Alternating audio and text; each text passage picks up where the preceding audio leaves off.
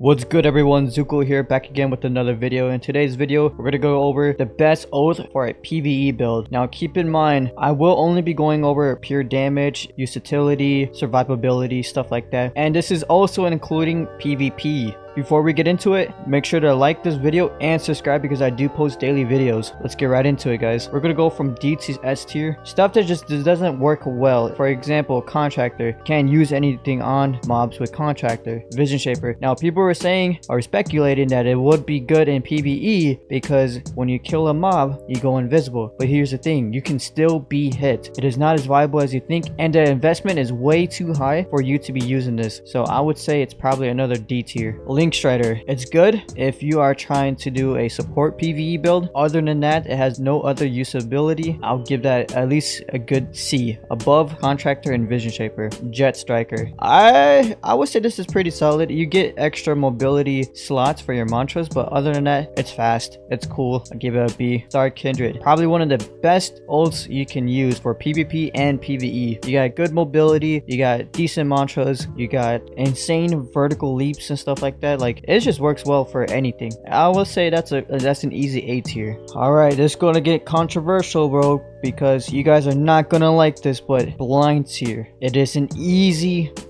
C. Now, the reason why it's a C is because you only have Tranquil Circle, and if you're using a mantra based build, you won't be able to use your mantras when you're using Tranquil Circle. So that 10% monster armor is useless because you can't do, what are you gonna do, M1?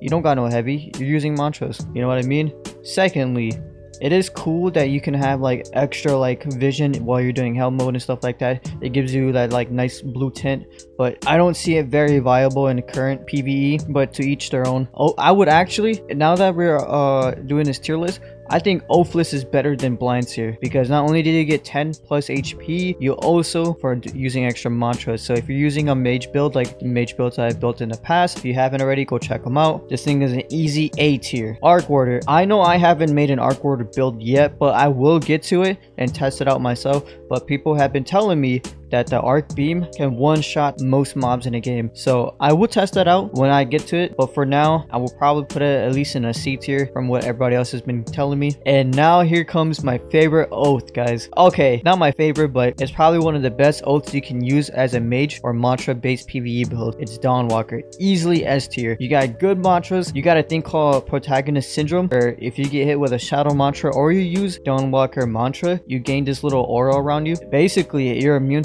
any status effects. For example, burn, and when you're doing hell mode and you're fighting shadow attuned mobs, your ether does not get drained. This is my tier list. This is what I prefer. And if you guys need to help, let me know or join my Discord and I can assist anybody that wants Dawnwalker. I'll link it in my description and in the comments below. Let me know what you guys think in the comments. Appreciate you guys watching this and I'll see you guys in the next video.